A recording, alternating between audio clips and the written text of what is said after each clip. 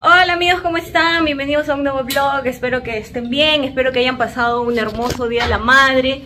Nosotros, la verdad que tuvimos un día de la madre accidentado, doña Olga se enfermó, de ahí yo, el, o sea, el que empezó fue Rushi, que vino malito, de ahí mi mamá, yo, pero bueno, vamos a, vamos a, estamos celebrando ahora así como se dice, un poquito tarde, pero bueno, para celebrar el Día de la Madre, le digo a mi mamá, mamá, voy a traer cositas ricas y les, les enseño lo que, lo que he traído para que vean, porque ya, mamá, ya estás un poco mejor. Sí, bueno, eh, la mitad podría decir. 50%. ¿Cómo Sí. están amigos? Sí, estuve muy mal, mal, pero estoy mejorando bien, gracias Lo que traje es el, este ají, este, perdón, aceite de oliva, que me gusta porque viene un litro y, y es un precio más, más accesible. Me sale a 1400. En los otros supermercados está un poco más. Acá también compré este bicarbonato de soda, compré pudín de vainilla, después compré este polvo de hornear y más y esto es para hacer este esto es chuño y de ahí eh, he comprado eso que no sé qué será dice dice cubitos de pollo vamos a ver porque no sé si estará bueno. Y esto es rico esto se parece a lo de México que son las este las galletas de rosa que le dicen. Hoy día un tacu tacu de dal con sus popcorns con popcorns de Kentucky. Así que ahí vamos a vamos a comer. Su ensaladita también. Acá su ensaladita de pepino Amigos, también he comprado estas mermeladas. Una es de Black Currant. Eh, supuestamente no tiene azúcares añadidos, bla, bla, bla. No sé. Ojalá que esté rica. Dice que es de, de UK, de Inglaterra. Supuestamente, no sé. Si es, que alguien si es que alguien conoce esto, a ver si me dice, porque es un gustito que, que compré para mi mamá y para Rushan, porque a ellos les gusta comer pan con, con algo dulcecito. Y esta es una de eh, cerezas, parece, así que vamos a ver qué tal, qué tal son. Ha llegado mi, mi suegra y todos han llegado de Darwin. Y la, yo, también ha venido. ¡Ay, bebé! You, Maga? Ah, El Rushan. Está ahí el Rushan. Y yo traje- tra- hicimos ayer con Rushan un este. Ayer con Rushan hicimos un postre, pero pucha que no nos ha salido como era, pero igual ya pues. Ya me he traído a mi sobrina acá compra, con Rushank, me compra cash iba a decir, para que un ratito estén acá en el parque, aunque ahorita está cerrado, amigos, estamos de contrabando en el parque, pero mi cuñado está trabajando y acá mi comadre no lo deja trabajar. Rushu, Rushu has a treasure, go! Rushu has a treasure, maga.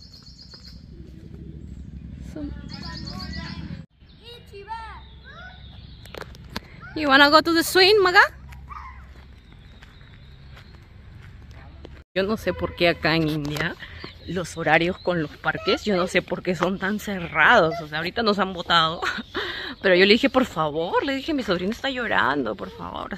Le pedí que me, me deje cinco minutos, aunque sea. Pero ellos son, yes maga, yes maga, yes maga, yes maga. Ajá, gimme, gimme. Ay, mi hijo me les estaba contando.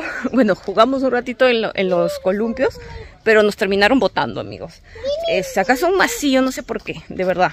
Este, al final le, le, le pedí por favor, le digo, mi sobrina está llorando, por favor, le dije. Ah, ¿no? yo venía acá con mi abuela. Ajá, y me dicen, no, que esto abre a las 3 hasta las 8, no sé qué, que por aquí, que por allá. Y no se puede, 5 de la tarde, ¿no? Sí, entonces no se puede y bueno. No entiendo por qué son tan así con los parques. Los parques deberían estar abiertos todo el tiempo para los niños. Esa es mi forma de pensar, porque por eso son parques, ¿no? Pero bueno, ya nos estamos yendo ahorita porque este cuando estaba yo con mi sobrinita y todo, este vinieron a verificar mi, ah, mi dirección, vinieron a verificar con el tema de la identificación de acá de India. Eh, se llama Card. Entonces, este, cuando yo recién llegué en diciembre, no me podían hacer el trámite porque yo recién había llegado. Tienes que vivir aquí seis meses, entonces yo ya voy a cumplir seis meses, entonces han venido a verificar. Entonces ahora estoy yendo con mi papá porque tenemos que ir a sacar copias de mi certificado de matrimonio, nacimiento de Rushi. Para la lluvia, tienes razón. Sí, sí, sí. Ma, me olvidé paraguas. Bueno, ya saqué mi, mi paraguas y este, cuento que está fresquito, ¿eh? qué rico. Parece diciembre allá en Chaclacayo.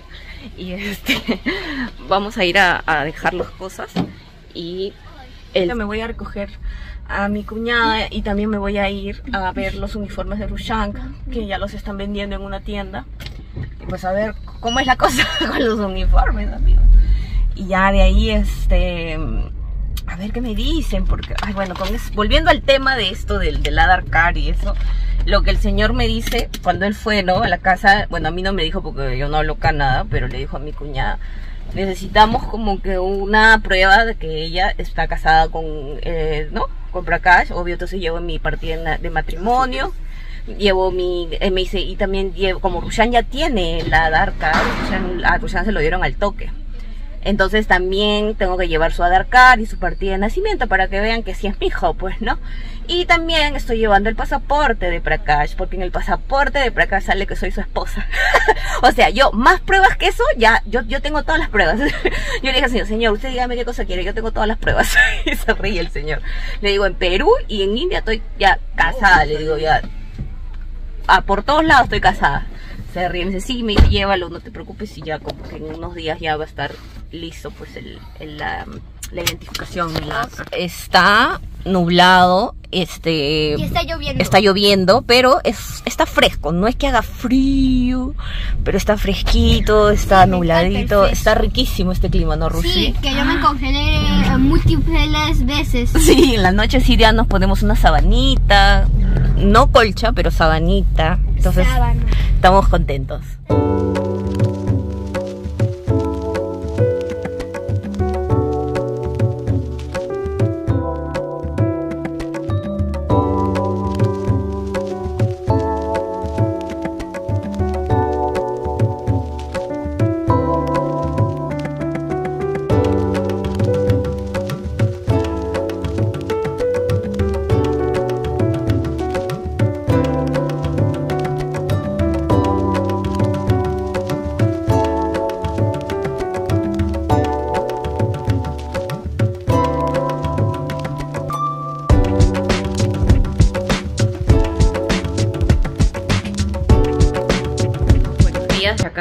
India. Les cuento que pues he vuelto a la vida.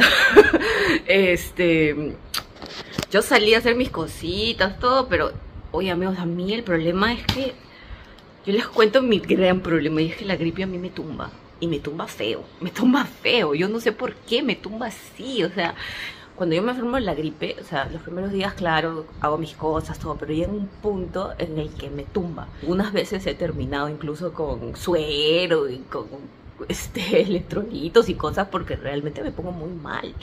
Entonces, este, hoy día, este, ayer, ¿no? Me, este, me sentía muy mal, amigos. Dije, bueno, ya.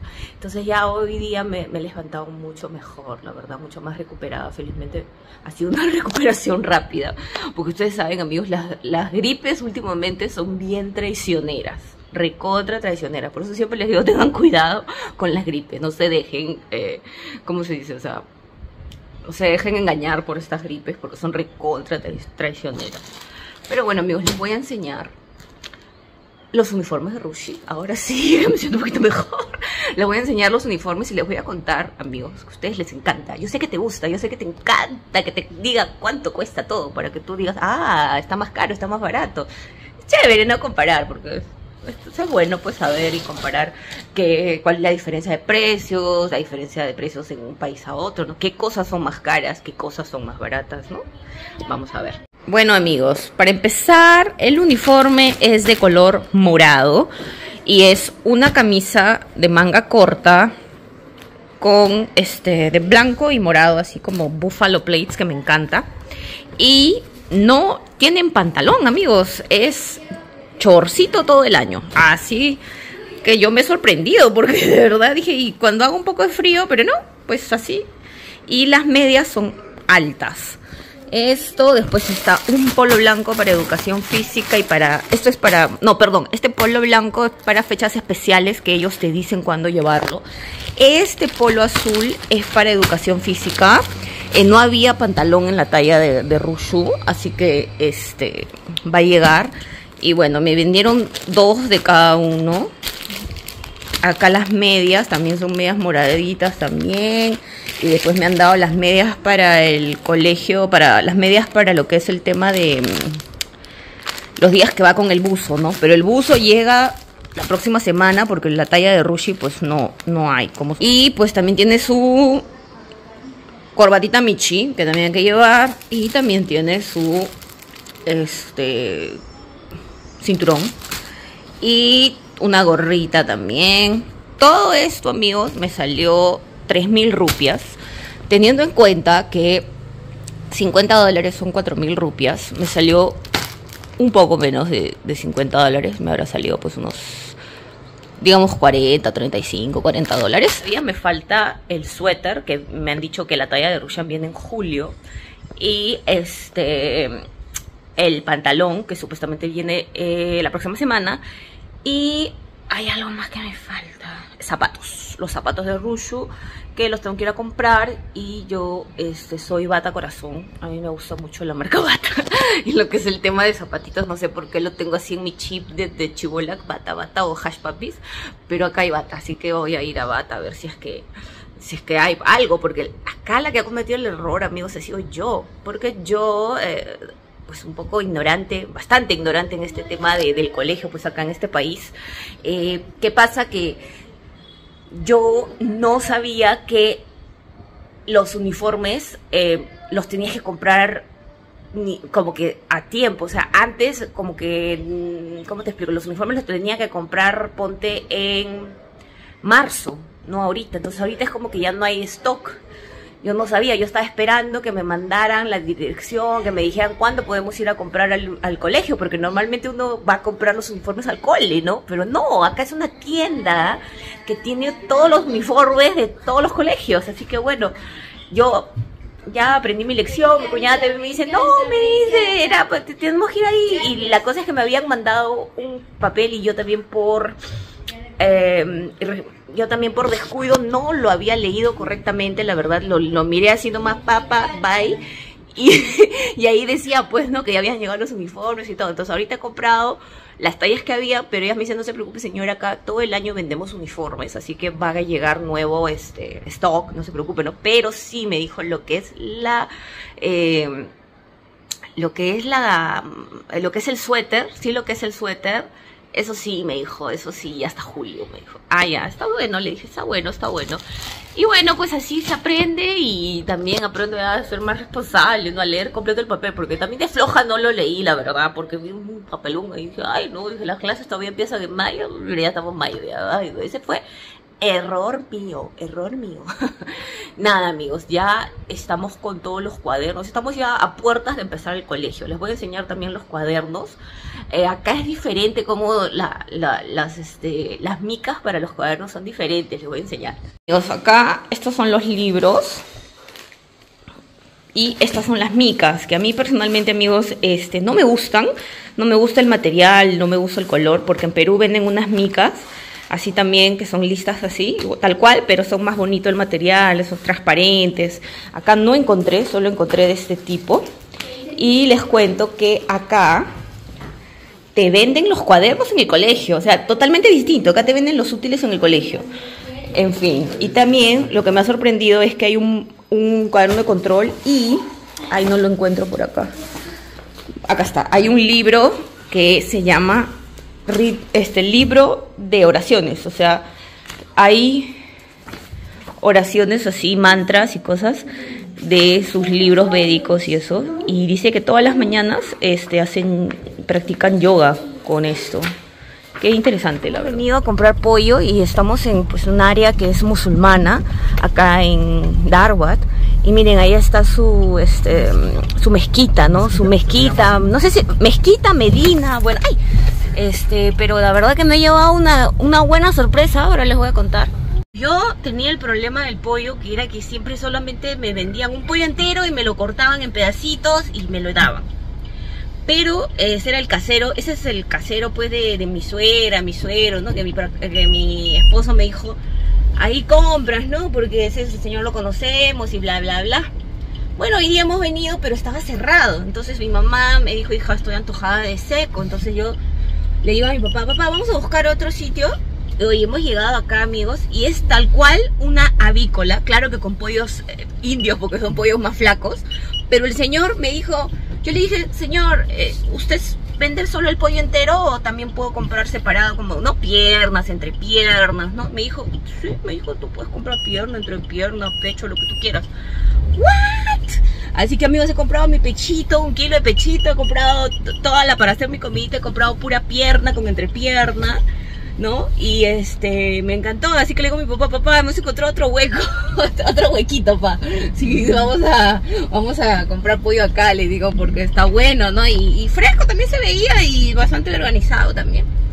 Pero eso sí, claro, los pollos son pequeños acá en India, son, son unos pollos este, vegetarianos, pollos dietéticos. bueno amigos, acá está mi rico seco. Ahí que se cocine con lo último que me quedaba de que amarillo. Pero bueno, se tiene que usar porque si no, la vida es una, la vida es una, no se puede guardar el, el ají amarillo más tiempo, pues se tiene que usar. Ay, qué rico. Huele buenazo, huele buenazo. Estaba antojada. Ay, sí, ¿cómo están? Buenas tardes. Son las 12, 12. y punto, 12 y punto del mediodía. Eh, wow, miren, esto definitivamente está estilo peruano 100%. Sí, acá- acá le puse un montón a mi mamá. Teresa que mandó el ají amarillo. Sí, Teresa, no. Y, y también me mandó el culantrito con espinaca, riquísimo. Y todo el reguito con eso, papi. Mm. Uy, a Ruchi le va a encantar. Súper bien. En la papita parece como guay. Ah, sí, le, le puse unas chiquitas que... Está arenosa, o sea, está buena. Sí. Está muy rico, muy rico. Todo con su buen jugo, pimiento, zanahoria, el verde. Está como verídico, verídico. Claro, está muy estilo peruano. Y lo justo todos son las presas que te gustan. Pura pierna y entrepierna. Mi rabito. Sí, porque antes mi mamá renegaba porque me- nos metían todo, pues, y yo cocinaba con pecho, todo. Yo iba indignada cuando le tocaba su pecho. Es que no soy mucho de pecho porque sea me trata un poco. Sí, pues. sí. Oli. Olis, Ruchu, a comer usted, señor. Me olvidé de lavarme. Oh, sí, muy bien. Vaya a lavarse. Vaya a lavarse la mano, el Ruchak. Amigos, gracias por acompañarnos en este video. Espero que les haya gustado un poco más o menos de cómo estamos acá. De verdad que la gripe nos, nos atrasó un poco, pero ya estamos bien. Ahorita este, ya terminé de hacer como se dice todas mis cosas y ya dentro de un rato voy a ir a, donde mi suegra, que mi suegra me dijo he traído un poco de jackfruit, que es, si no me equivoco, en algunas partes de Latinoamérica le dicen yaca que es como una fruta así súper grande. Y me dijo para que tú, que te encanta hacer pues tus cosas, tus experimentos, me dice si quieres hacer algo. Ya le dije, porque yo ahí en, en Iliana probé unos dulces como unos buñuelitos, entonces quiero hacer unos buñuelitos de jackfruit, a ver si qué tal salen, pues, ¿no?